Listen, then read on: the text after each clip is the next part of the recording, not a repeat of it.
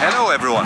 Now I'm on a construction site in the Philippines and they will do now the 1000 millimeter electrofusion joint and as I promised long time ago I want to show you the production or the, the procedure of the electrofusion in real. Here we have already the team. The team is working with two electrofusion machines. One is here and the other one is here. Have a generator inside the car for the power. They are using 230 volt and they are preparing the pipes outside of the trench and they will be installed in the length of 16 meter in one shot inside the trench later.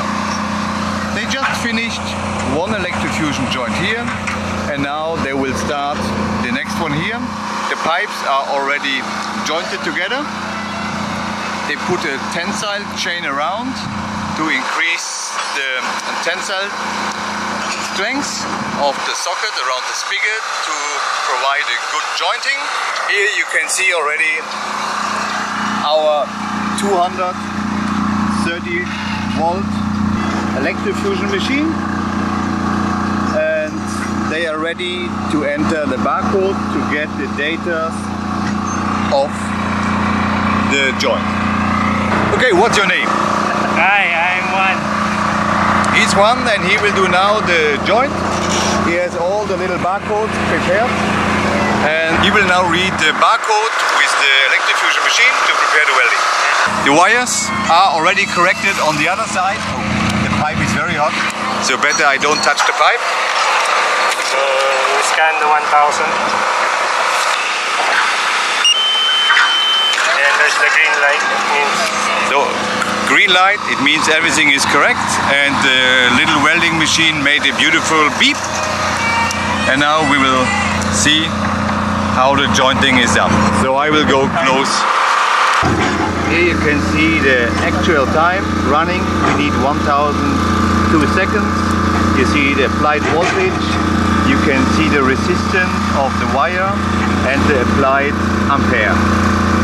So now we have to wait just 1000 seconds or 1990 seconds and then the welding is done. Of a pipe 1000 mm. The connection is done here with the welding machine and inside you have.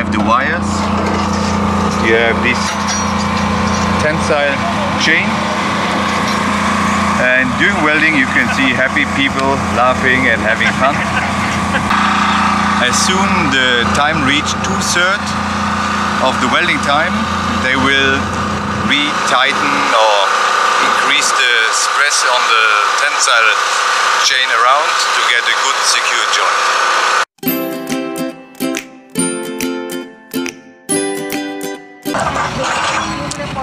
Again I have to say so sorry for the bad audio. Even I got this beautiful Christmas present from my son Maximilian. Thanks Max a lot for your microphone which I could or which I should use during my videos, especially construction sites. And I'm so sorry I forgot it in Germany.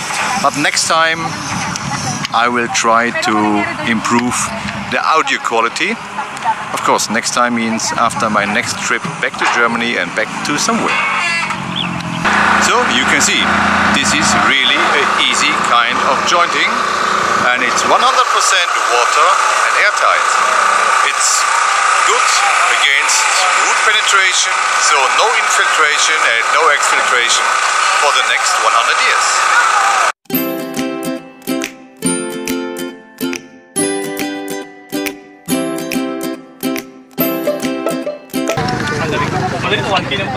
Now they will untighten one chain after the jointing and they will put it on the other side.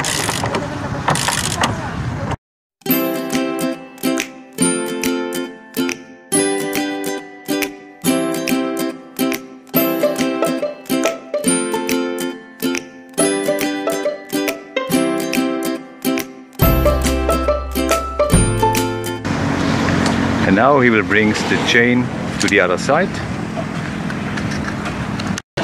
and I will be very useful today and I will carry the tools so that he don't has to come back.